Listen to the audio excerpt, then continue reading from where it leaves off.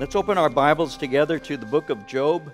We're going to be looking tonight at chapters 7 and 8. Chapters 7 and 8 as we continue our series here in the book of Job. I'd welcome you who are watching us online. I'm expecting some of you are, others are watching the Dodger game. it's good to have you with us. Uh, a couple of announcements, and uh, we'll get into our study. And I'll just read what has been given to me. Um, next week, we're going to be having on Wednesday night uh, a kids' ministry event, and uh, kids in pre K through sixth grade will have a special in class event on Wednesday, the 28th, and it's called Unmasked.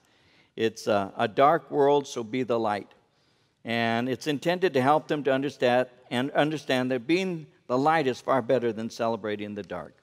So the kids will be encouraged to look behind the masks that people wear every day, even here in church, and uh, learn the importance of looking at the hearts of others instead of looking at their outward appearances. There's going to be a time of special teaching, crafts, and a snack. And kids are welcome to dress up, but no scary costumes. And uh, if you'd like to bring some candy, uh, it's being accepted. Donations are being accepted in the kids' ministry office and you can drop off donations after services or Monday through Friday from 9 a.m. to 5 p.m. Also, tomorrow, uh, we're going to have an outdoor fall festival for you ladies. Uh, it's from 5.30 to 7.30. There's outdoor shopping. 40 local vendors will be here. A gourmet food truck. And the cafe and the chapel store will be open at 7.30 uh, there's going to be worship. My wife Marie is going to share with the ladies. It's a free event, no re- registration required. Men, we do have our men's breakfast. It's Saturday, November 7th at 8:30. We're going to have Brennan Beeler with us. Tickets are available. You can purchase your tickets online through the church's website or at the gazebo. It's a good opportunity to come and invite somebody. Tuesday morning men's uh, study every Tuesday. It's growing. That's a blessing to see that every Tuesday morning at 6:30 in the chapel. There's a time of fellowship, and we're calling it Bible Brothers and Burritos, and so that's a good thing. Uh, the young adults Bible study meets every Monday at 7:30 uh, p.m. in the banquet hall. Our Sure Foundation classes have resumed after being closed due to the COVID restrictions. These classes provide believers with tools to help them mature in their faith. It's, in, uh, it's on Tuesday or Thursday evenings at 7 o'clock in room 405. And again, tamale pre order sales have already begun. All sales are online. First day of pickup is Sunday, November 1st, at what we're calling the tamale tent in the courtyard. Don't forget to pre order your tamales at least one week in advance. And thank you because this all goes to supporting our children, our youth ministry. Okay, with that said, we're going to be looking today at Job chapter um, 7 and 8. And so we'll begin by looking at verses 1 through, uh, 1 through 10 in chapter 7, and we'll get into our study. Job chapter uh, 7, beginning at verse 1, reading to verse 10. Is there not a time of hard service for man on earth? Are not his days also like the days of a hired man, like a servant who earnestly desires the shade? And like a hired man who eagerly looks for his wages, so I have been allotted months of futility, and wearisome nights have been appointed to me. When I lie down, I say, When shall I arise and the night be ended? For I have had my fill of tossing till dawn. My flesh is caked with worms and dust. My skin is cracked and breaks out afresh. My days are swifter than a weaver's shuttle and are spent without hope. Oh, remember that my life is a breath. My eye will never see again, never again see good. The eye of him who sees me will see me no more. While your eyes are upon me, I shall no longer be. As the clouds disappears, as the cloud disappears and vanishes away, so he who goes down to the grave does not come up. He shall never return to his house, nor shall his place know him anymore. Beautiful upbeat words that we get a chance to look at. Let me remind you of a few things that we've already seen in chapter 6. In chapter 6, Job had finished expressing what he would call a deep anguish of the soul. And he had stated to his so called comforters, if, if you could only weigh the sorrow of my heart, you'd understand my pain. But your counsel is tasteless. I therefore refuse to listen to what you've been saying. Instead, I would prefer death to living. I wish that God would crush me, in my misery. I've lost everything. I've lost my former prosperity. I'm frail, and I can't take this pain and sorrow. If you truly loved me, he was saying to them, you would comfort me instead of further hurting me. Instead, you try to correct me and do not succeed in showing me where I have erred. Remember in verses 29 and 30 of chapter 6, he had, he had closed by saying, Yield now, let there be no injustice. Concede my righteousness still stands. Is there injustice on my tongue? Cannot my taste discern the unsavory? So he's already closed by saying, Your counsel does not help me. And so, what we have here in chapter 7, and let me give you a bit of an outline for just a moment, is the continuation of his defense. Verses 1 through 10 gives us his belief that he has a right to complain. Verse 11 makes it clear that he believes he has an unlimited right to complain. And verses 12 through 21, he takes his complaint directly to God. We're going to see that as this chapter unfolds before us. So, as we look at chapter 7, in verses 1 through 5, I'll take them as a group and then move on.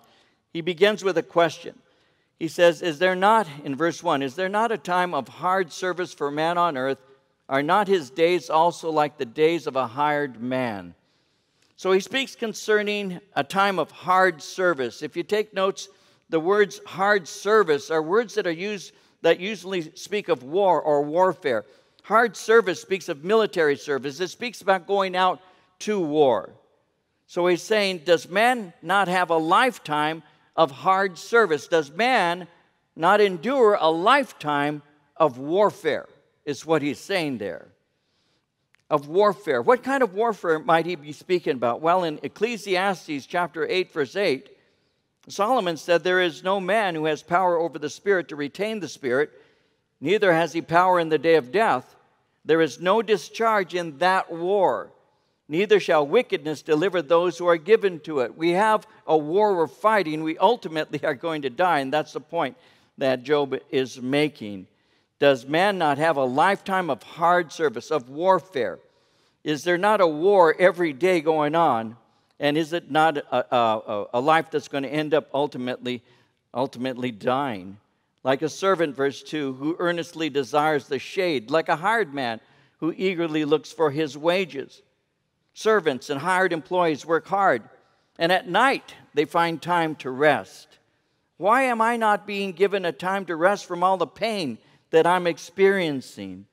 He says in verse 3 I have been allotted months of futility, wearisome nights have been appointed to me.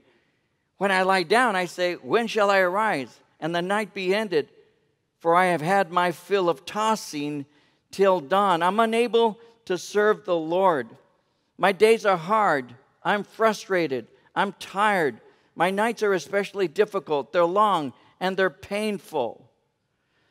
My son David, just yesterday, went and had an operation on his shoulder. And I was speaking to him today and I asked him, How are you doing? He had had some nerve damage and other things that they were repairing. And he said something to me that is, it, it, it, it basically mirrors what, what Job is saying. He said, I was in such pain that I could hardly sleep. And that's what Job is speaking about here. He's speaking about lying down. And it says in verse 4 again, notice, when I lie down, I say, When shall I arise and the night be ended? Have you ever spent a night tossing and turning in pain? Many people have. I have. You know, you, you just, you're in pain. You've had physical problems or whatever, and, and you just cannot rest. And he's been going through this for months, not just for a day, not just for a week, but for months. Months he's been suffering in this. And he's saying, Listen, I'm just tired. I, I'm, I'm unable to serve the Lord because my body doesn't allow me to do that. And the days that I'm living in right now, all day long, it's hard. It's, it's, it's, it's difficult for me. I'm frustrated. But when I go to bed, it's especially difficult because my nights are long. I've, I've spent long nights where, where you just wish you could go to sleep and you can't. And the pain is there and it keeps you awake. One of the things that he's saying in this, though, it made me think, and I'll just say it quickly. What he's saying is understandable. But when you feel that you're not being of any service, when you're feeling that your nights are just wearisome, like he says, you know, you can use your nights for, for, for things, and, and not everybody would consider this immediately, but it is something you can do. And it is something I've done. And it's something I counseled my mom about. My mom had a lot of physical pain, especially in the last year of her life. But mom had a lot of physical pain. She had lupus and various other things she dealt with. And, and on one occasion, I still remember having a conversation with her where she, she had said to me similar, similar thoughts that Job is communicating. She said, You know, uh, at night I just toss and turn. I'm in a lot of pain. I can't sleep. I can't rest. And she says, You know, son, I, I, I, I feel so useless. I feel like I, I have, what's my purpose? And I remember having this conversation where I said to her, and I didn't take her pain lightly, by the way, I didn't minimize it, it was very real. But I said, you know, Mama, uh, one of the things that you might want to think about is this. And my mom was a prayer warrior. She was a prayer warrior.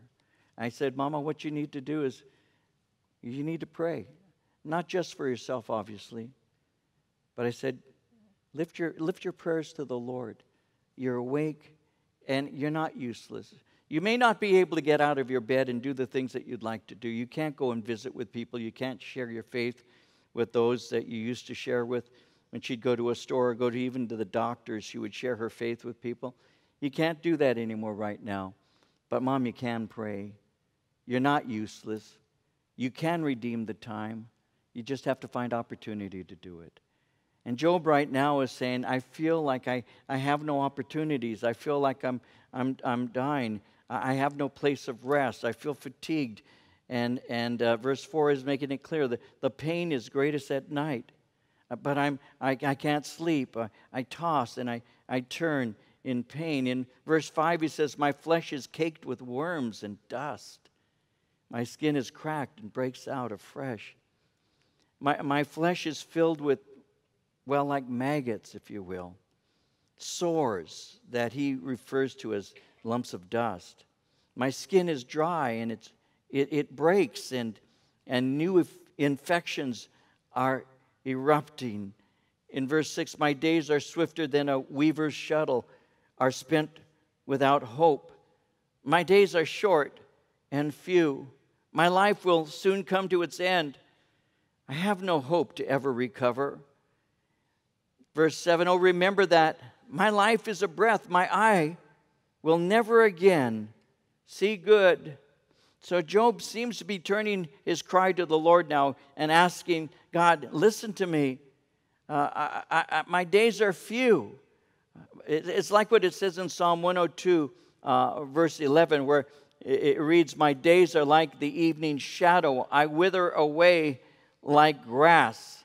You know, when you're young, you feel that time goes by so slowly.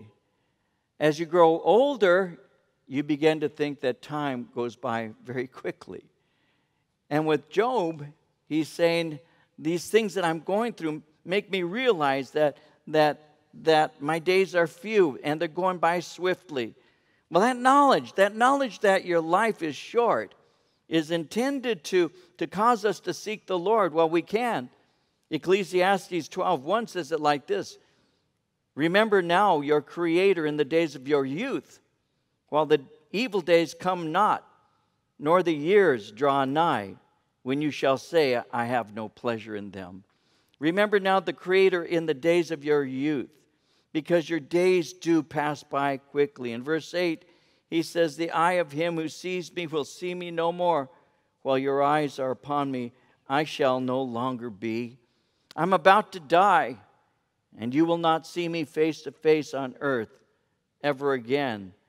Verse 9 As the cloud disappears and vanishes away, so he who goes down to the grave does not come up as a cloud is consumed by the heat of the sun and then vanishes, he's saying, I too will soon vanish. James in chapter 4, verse 14 said it like this He said, Whereas you know not what shall be on the morrow, for what is your life? He went on to say, It's a vapor that appears for a little time and then vanishes away. So the cloud disappears and vanishes away, and so is my life. In verse 10, he shall never return to his house, nor shall his place know him anymore. While alive, I could go to work and then come home from work. But when a person dies, he doesn't come home any, anymore, not in the way he used to. And so, as he's saying that, he goes, I have a right to complain. Verse 11 Therefore, I will not restrain my mouth. I will speak in the anguish of my spirit. Because I believe this to be true, I have a right to unlimited complaining. Since I'm hurting, I have a right to cry out. Don't try to stop me. I need to share with God how I'm hurting. I need to ease myself by crying out. You know, as I've been saying, as we go through the book of Job, I'll probably repeat this thought several times through the book. But one of the, one of the things that I think is necessary, and Job is actually saying this right now, is not so much that I have a right to complain, but that in my complaint, it's actually sometimes actually expressing a faith that I have to the Lord because I'm speaking to the one who can relieve the pain that I'm in. And I think that, that sometimes it's, it's important for us to, to allow people to speak what's on their heart, regardless of whether you agree with it, regardless of whether you think that, that they're showing a lack of faith. One of the things I see in, in Christians is sometimes, and it's a sad thing to admit to, but it's true, is that many Christians in my lifetime, at least that I've seen, um, don't know how to weep with those who weep. They just don't. You know, maybe there's an uncomfortableness that comes when you see somebody hurting and you just want to give them a word of encouragement to help them feel better. I don't know. But I learned a long time ago that sometimes I just need to let that person complain. It's not that I agree with them, I may disagree complete, completely with them. But sometimes I need to allow them to do that so that they come to the end of that, and then now we can have a conversation about that. Now we can speak concerning the things they're going through. And, and I think that's very important. And in the case of Job, he's saying, Listen, I, I'm in a, a lot of pain and, and I, I, I want to make my voice heard. And I'm not going to restrain my mouth. I'm going to speak of the anguish of my soul. And uh, his friends are trying to correct him. You're going to see this in just a moment. But I, I'm hurting and, and I have a right to cry. And he goes on in verse 12, he says, Am I, am I a sea or a sea serpent that you, speaking to God, that you set a guard over me? Am I a sea? Am I without a mind? Am I wild and out of control so you can't communicate with me? He says, You have set a guard over me. I feel like you have enclosed me. You have shut me in. You've suffocated me, and you've suffocated my cries. And that's how I'm feeling, Lord. In verse 13, when I say my bed will comfort me, my couch will ease my complaint, then you scare me with dreams and terrify me with visions. I'm having nightmares. I can't rest. I'm in so much pain I can't sleep. One commentator pointed out that most likely Satan had been permitted to frighten him as he slept. And these frightening dreams and all that he was having actually took his peace away from him and took away his rest. In verse 15, he says, My soul chooses strangling and death rather than my body. That's a pretty strong statement. I would prefer a violent death if it's quick, rather than my flesh being slowly consumed. It's a picture of him now just skin and bones. In verse 16, I loathe my life. I would not live forever. Let me alone. For my days are but a breath. I can't take this anymore. I want it to end. I want to die. Please let me die. You are the God who determines length of life. So withdraw your hand from me. I'm asking you, let me die. Verse 17 What is man that you should exalt him, that you should set your heart on him?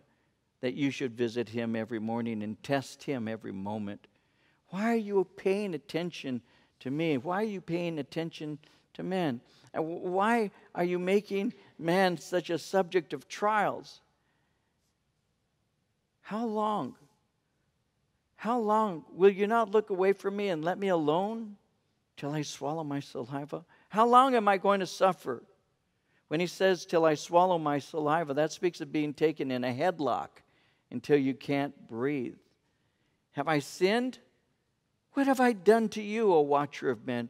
Why have you set me as your target so that I'm a burden to myself? Have you ever spoken to the Lord like that? Have you ever said, God, it feels like you've set me up and you're firing your arrows at me? This is a very poetic way of saying, Lord, why am I being treated this way? You're correcting me, but you haven't shown me where I've, where I've done wrong. What have I done? How can I make it right? I, I'm weary. I can't endure this any longer. Why, why have you chosen me to vent your anger on? He says in verse 21 uh, Uh, why then do you not pardon my transgression? Take away my iniquity. For now I will lie down in the dust, and you will seek me diligently, but I will no longer be. God, pardon my transgression. You're a God filled with mercy why have you not forgiven me if I've sinned? Now I will lie down in the dust. He says, You will seek me diligently. It's too late. I'm going to die. And though you seek me to pardon me, I'm going to be dead. And that's why I need your help now. So he's poured out his soul and he's speaking in front of his friends. And now one of his friends begins to speak to him. Enter Bildad. And I mentioned to you again, remember this as you take your notes Bildad, the Shuhite, is the shortest man in the Old Testament. Anyway, I'll wait for that one. Okay. Then Bildad, the Shuhite, answered and said, How long will you speak these things, and the words of your mouth be like strong wind? Does God subvert judgment, or does the Almighty pervert justice? If your sons have sinned against him, he has cast them away for their transgression.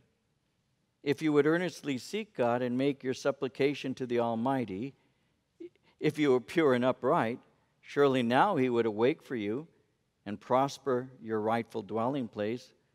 Though your beginning was small, yet your latter end would increase abundantly.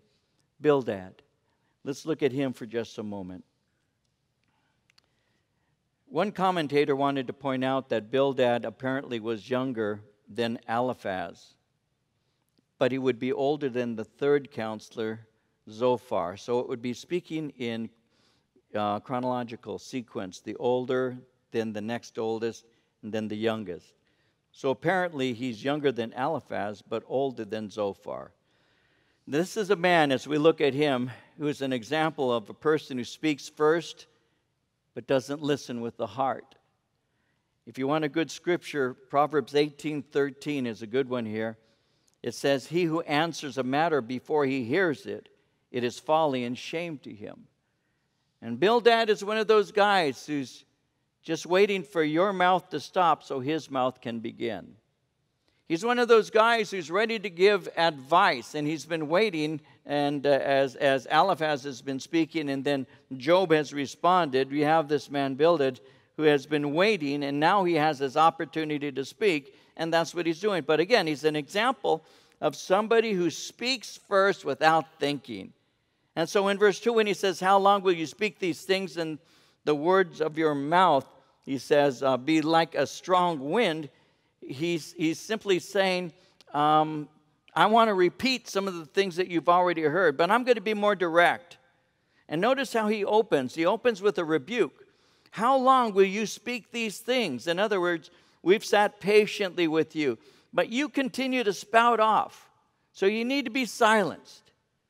Now, in Job chapter 6, verse 14, Job had made a plea. He had said, To him who is afflicted, kindness should be shown by his friend. But what he's doing is showing anything but kindness. He actually says, Your words are like a strong wind, it, it scatters everything around it. Your, your, your words are like a strong wind. It's so loud, it drowns out all the people's voices. In other words, you're just making a lot of noise. And now he begins to give his, his comments. Verse 3 he says, Does God subvert judgment? Does the Almighty pervert justice? In other words, does God judge unrighteously? Does he afflict people unjustly? Does he punish those who are good? And what he's saying here is, is Job, God obviously is judging you. Listen, if you weren't in sin, you wouldn't be under his judgment because God is perfect. And God doesn't make mistakes, and therefore, you're only reaping the consequences of what you have done. You've implied that God is unjust, he's saying, and God is not unjust. And then he goes and gets even more personal when he says in verse 4 if your sons have sinned against him, he has cast them away for their transgression. He killed your children. Can you imagine that? Can you imagine him saying that? Because his children died. Remember when the wind came and knocked down the house and his seven sons and three daughters died? He's saying, Job, you're the reason your children died. I remember a, a teacher, quote unquote, a false teacher, who was on television and was sharing how that a woman had had a miscarriage and he was quote unquote ministering to the woman who had lost her baby and had said to her, If you had faith, you wouldn't have lost your baby. And I remember hearing it. It was on TV, and millions were listening to this guy say, You were the reason your, your baby died. You were the reason. What kind of cruelty is that? What kind of what kind of word is that? And that's what Bildad is giving right now. You're saying God is unjust. God is not unjust, Job. Your children died because they should have. And you're getting what you deserve. Remember, Eliphaz had said in chapter 5, verse 4, that uh, his sons are far from safety, they're crushed in the gate.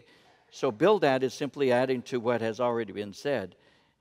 If you're in sin, your children have no place of safety. Your children, he is saying, have died because of you. Now, Eliphaz and now Bildad believe that, that they know what only God would know. You see, God is the only one who searches out our hearts, and yet they're making judgments of, of, of Job's heart. In, in Hebrews 4.13, it says, Nothing in all creation is hidden from God's sight. Everything is uncovered and laid bare before the eyes of him to whom we must give account. God is the only one who knows everything, He sees it all. In Proverbs 17, verse 3, it says, The refining pot is for silver, and the furnace is for gold. But the Lord tries the hearts. In Jeremiah 17, verse 10, I, the Lord, search the heart.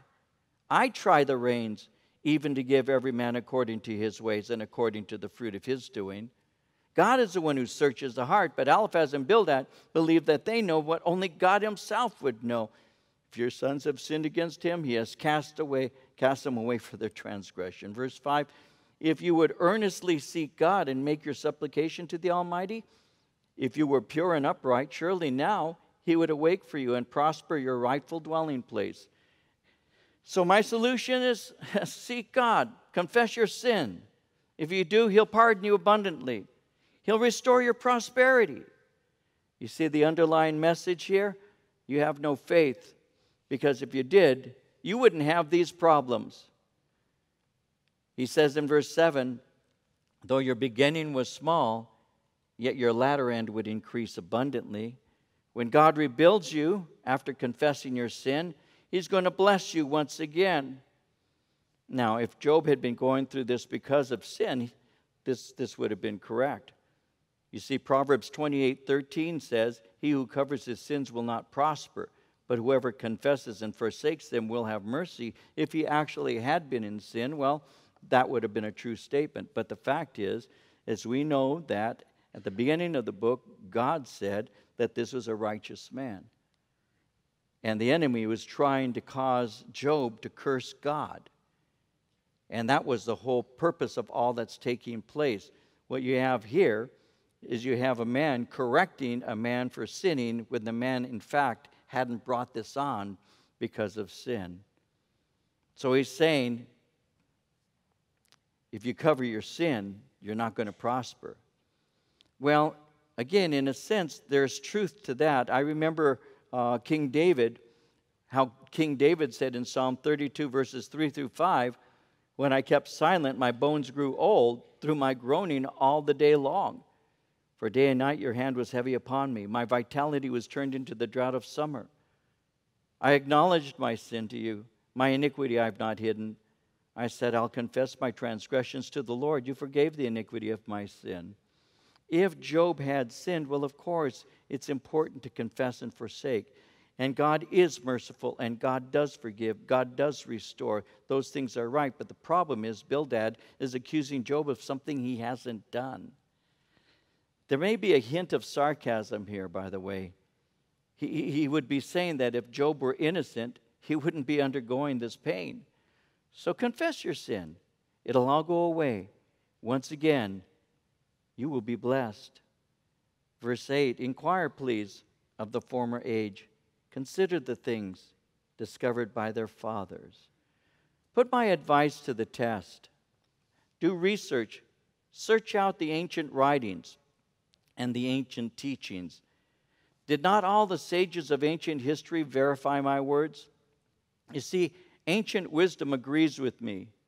The wicked can flourish, that's true, but they only flourish temporarily. And the ancients discovered that the righteous endure affliction, but when evil is repented of, they are restored. And so he's saying all you need to do is look into the past and see what has taken place. Inquire, he says, of the former age. Consider the things discovered by their fathers. Verse 9 For we were born yesterday and know nothing, because our days on earth are a shadow. We're young, we are inexperienced, we have little knowledge of the ways of the world.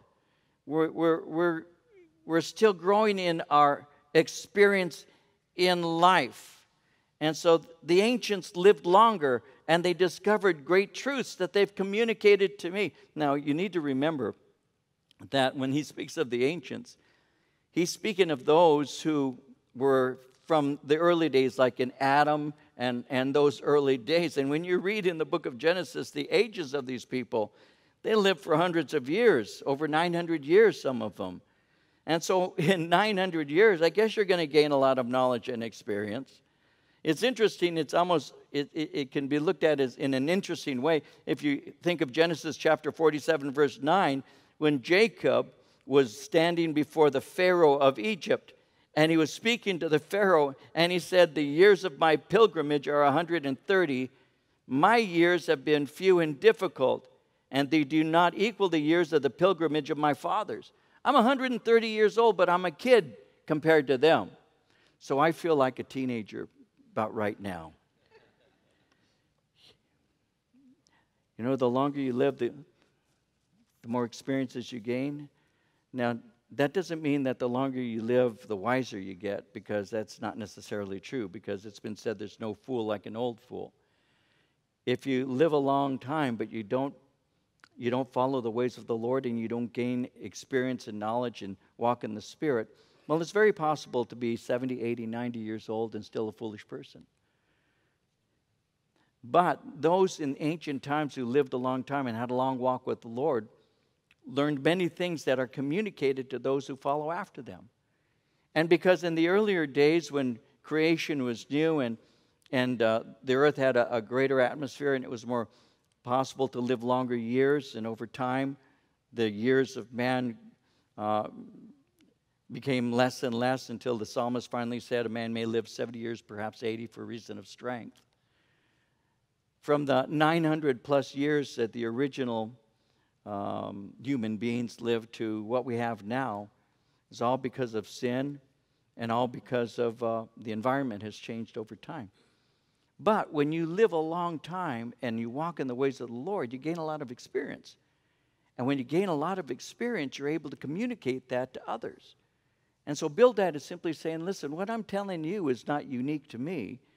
It's something that if you were to take some time and Google it, he wasn't saying that, but if you were to take some time and look this up. Look for some sources of information. Look for some of the writings, some of the things that have been presented to us that we have that we have that, that guide us. You would see that the things I'm saying to you right now are accurate. The ancients would know these things. So inquire of the former age. Consider the things discovered by their fathers. For, he said again in verse 9, we were born yesterday, know nothing. Our days on earth are a shadow. Will they not teach you and tell you and utter words from their heart? Job had said, Teach me, and I will hold my tongue. Cause me to understand wherein I've erred. He had said that in chapter 6, verse 24. So he's responding by saying, Since you want to be taught, well, do your homework. He says, They will utter words from their heart. Their words are not hasty, they come through observation, they come through reflection. Their words are sincere, and their, their, their, their wisdom comes by experience. He says in verse 11 Can the papyrus grow up without a marsh? Can the reeds flourish without water? While it is yet green and not cut down, it withers before any other plant. The papyrus and a reed, obviously, are plants that require moisture. So it's a picture of pro- the prosperity of the wicked. At first, they seem to flourish. And, and that's true. And I don't want to, I don't, boy, how can I say this?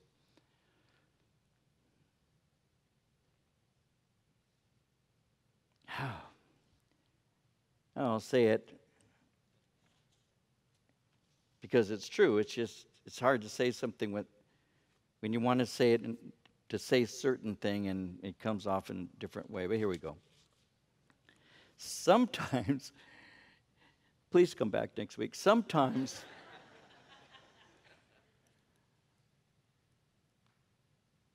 have you ever wondered how come the wicked seem to prosper?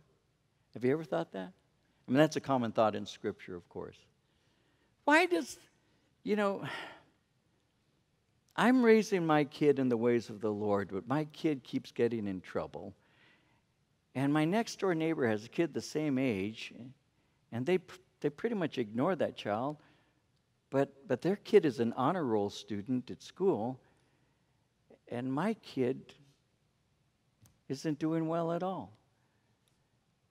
That kid seems to be better than my kid. And not only that, but that guy didn't lose his job. But I know that the guy's, and you know, he's a drunk and, and, and they live in a, an evil way, and yet they seem to be prospering, and I'm doing the best that I can, but I'm in danger of losing my job. Lord, how come people prosper and those who those who do their best to serve you seem to get the short end of the stick. How come? Have you ever thought that even once in your life? Have you ever thought, how, how Lord, it, it's almost like not even worth doing all this and going through all of this because because it seems the more I try, the worse it is. I was talking to Marie, my wife, and I was saying to her, There's a guy named Jeff Bezos who's the richest man. And see, again, I'm going to give you some numbers that nobody's going to understand because you can't. I'll tell you why in a minute. If you told me that you had a million dollars, I can get my mind around a million. I can get my mind around that. Why? because houses are selling for a million dollars. So I, that's a figure I can get into. I can, oh, okay. If you tell me a billion, no, you're getting a little further because I don't know what a billion really is. And, you know, thousand million or whatever, you know. But I don't know what that means. I don't know what that means. One billion dollars, can you imagine that? Now, if you say 10 million, 15, 25, 100 million, my mind can wrap around that a bit.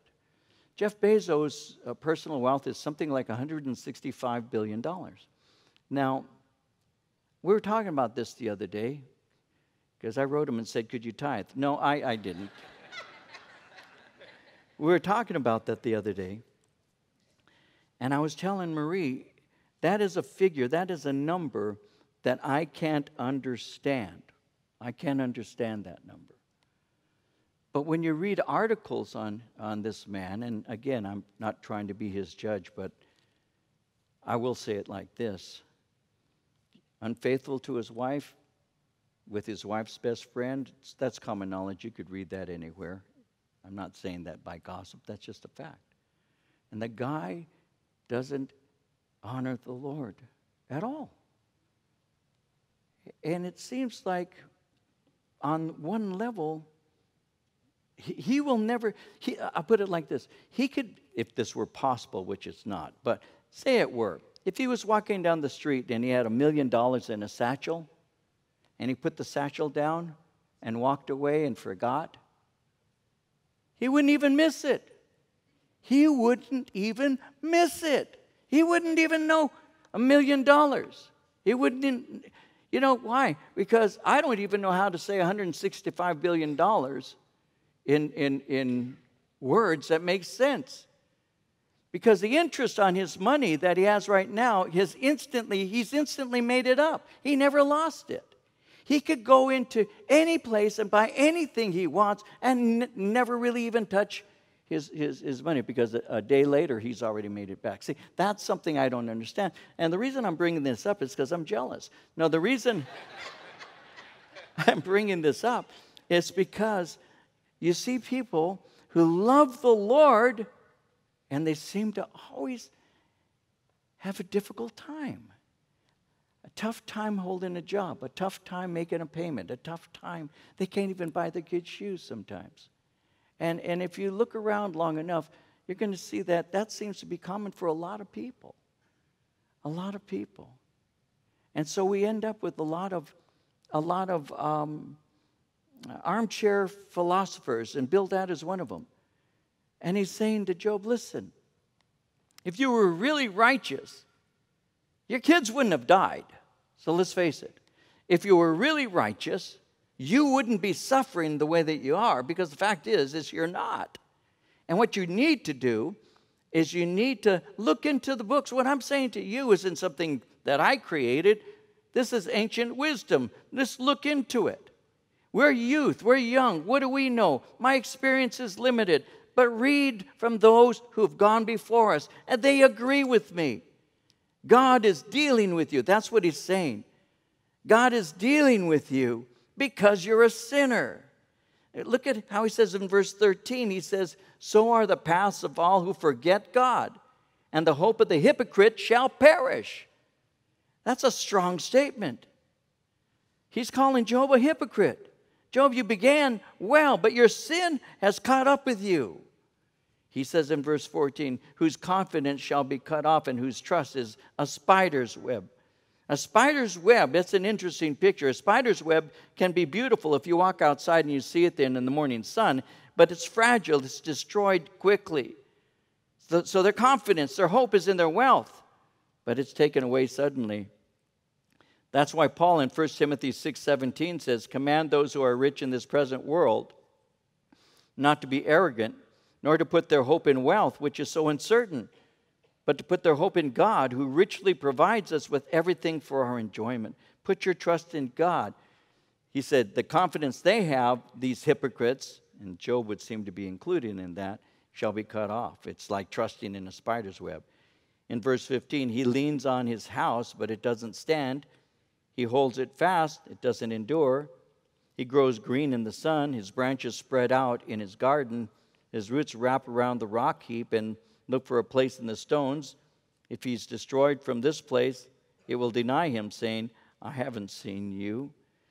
So he's emphasizing that there's no stability. There's no way that the wicked can endure. In verse 15, he leans on his house, it doesn't stand he holds it fast, it doesn't endure. In verses 16 and 17, he grows green in the sun, the branches spread out in his garden. In other words, the wicked can prosper temporarily. It can appear that they'll always flourish, but they don't.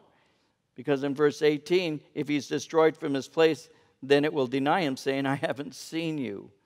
This is another way of saying, I, I never knew you. So these things don't last. Behold, this is the joy of his way, and out of the earth others will grow. Behold, God will not cast away the blameless, nor will he uphold the evildoers. he will yet fill your mouth with laughing, your lips with rejoicing. Those who hate you will be clothed with shame, and the dwelling place of the wicked will come to nothing. Listen, he's saying, This is how the Lord works. Remember that the end of the wicked is hard. He ultimately dies, and someone rises up and replaces him. But, verse 20, God will not cast away the blameless. God will not reject the righteous man. And God does not help the evil man do evil. If you are truly blameless, God will restore you, and God will deal with those who have hurt you. You see, the problem is Bildad thinks Job is hiding sin because Job is suffering so greatly. Years ago, a particular doctrine entered into the church and infected the church and influenced the church. It was called the prosperity doctrine. Many of you may be familiar with it.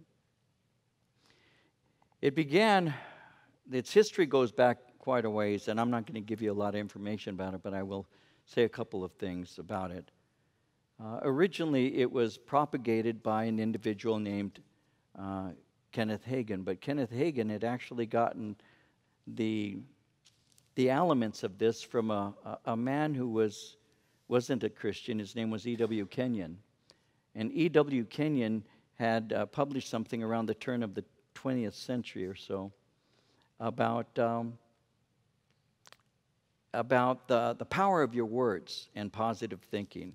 And that kind of thinking kind of infiltrated into the church. And so eventually, what happened is the, the power of positive thinking and the power of confessing and the power of your words that were actually originally from a, uh, a non Christian perspective began to infiltrate the church. And a man by the name of uh, Kenneth Hagin um, took those things. I had a book that actually showed uh, that he actually plagiarized great portions of the writings of E.W. Kenyon. And um, he popularized this, this, this belief that if you really love the Lord, nothing bad will happen to you.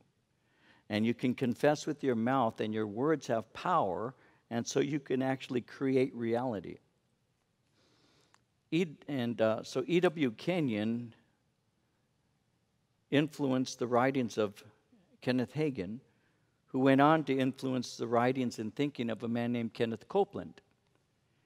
Kenneth Copeland began to influence people like Frederick K.C. Price and Marilyn Hickey and quite a number of others, and they popularized a doctrine that became what is referred to as the positive confession movement. Many of you have heard of it, perhaps you haven't, which is basically saying that what you believe and what you and what you confess becomes your reality it became almost magical so that the strength of my confession and the strength of my belief is going to actually create reality.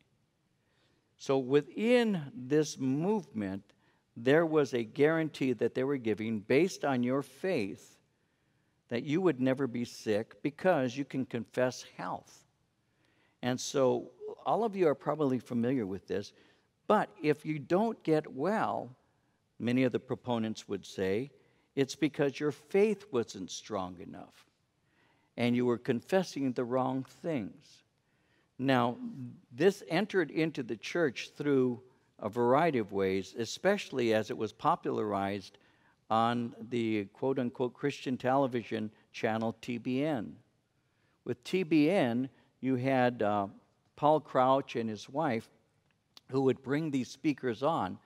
And so from what at one time had been a movement that, that was called a Jesus movement, where we actually wanted to read the Bible, rightly divide it, and apply it.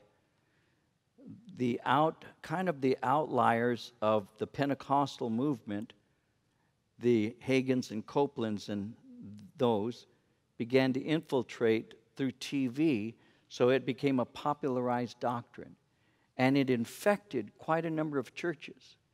And in our early days here in this church, there's more than one time that I had conversations with people who believed that I wasn't teaching the whole counsel because I wasn't teaching people that they were automatically healed when they got saved. All they needed to do was confess their healing. But the problem with that is one, it's biblically not true.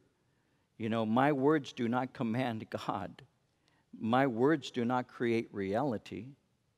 Uh, two, it's misunderstanding the ways of the Lord and the place of suffering and affliction in the body of Christ.